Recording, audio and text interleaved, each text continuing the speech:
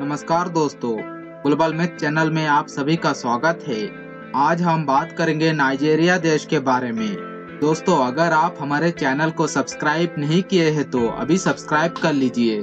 दोस्तों, नाइजीरिया पश्चिम अफ्रीका में स्थित एक देश है। इसकी सीमाएँ पश्चिम में बेनिन, पूर्व में चाड, उत्तर में कैमरून और दक्षिण में गुयाना की खाड़ी स्थित है। दोस्तों 2015 के आंकड़ों के अनुसार नाइजीरिया देश की जनसंख्या लगभग 18 करोड़ है, जो कि दुनिया में सातवां स्थान पर स्थित है। नाइजीरिया देश की मुद्रा को नायरा कहा जाता है, जो उन्नीस सौ उनसठ में नायरा मुद्रा की शुरुआत की गई थी। दोस्तों 521 भाषाओं के साथ नाइजीरिया दुनिया में तीसरा सबसे बहुभाषी देश है। कानो शहर उत्तरी पश्चिम नाइजीरिया में कानो राज्य की राजधानी है। यह उत्तरी नाइजीरिया के वाणिज्यिक आयात और निर्यात केंद्र भी है। नाइजीरिया की आधिकारिक भाषा इंग्लिश है और अबुजा इस देश की राजधानी और एक बड़ा शहर भी है। दोस्तों, नाइजीरिया में कुल 36 राज्य है। पूरे अफ्रीका महाद्वीप में नाइजीरिया देश की आबादी सबसे अधिक है।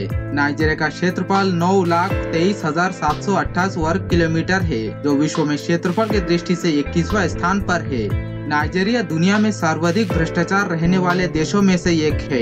दोस्तों इग्बो मस्करेट दक्षिण पूर्व नाइजीरिया के इग्बो लोगों की परंपरागत उत्सव है। मस्करेट अपने समुदाय के चारों ओर घूमते हैं। यह मनोरंजन का एक प्रमुख रूप है। दोस्तों नाइजीरिया में मुख्य रूप से क्रिश्चियन और इस्लाम धर्मों के लोग रहते हैं। नाइजर नदी पश्चिम अफ्रीका की प्रमुख नदी है जो कि लगभग 4,180 किलोमीटर लंबा है जो कि नाइजीरिया होकर बहती है। दोस्तों नाइजीरिया में 250 से अधिक जातीय समूह है। थर्ड मेनलैंड ब्रिज जो नाइजीरिया में है, जो कि अफ्रीका का सबसे लंबा ब्रिज है, जिसकी लंबाई 11.8 किलोमीटर है। नाइजीरिया कच्चा तेल का सबसे बड़ा उत्पादक देशों में से एक है। नाइजीरिया देश का नाम इस देश की मुख्य नदी नाइजर नदी के नाम पर पड़ा है।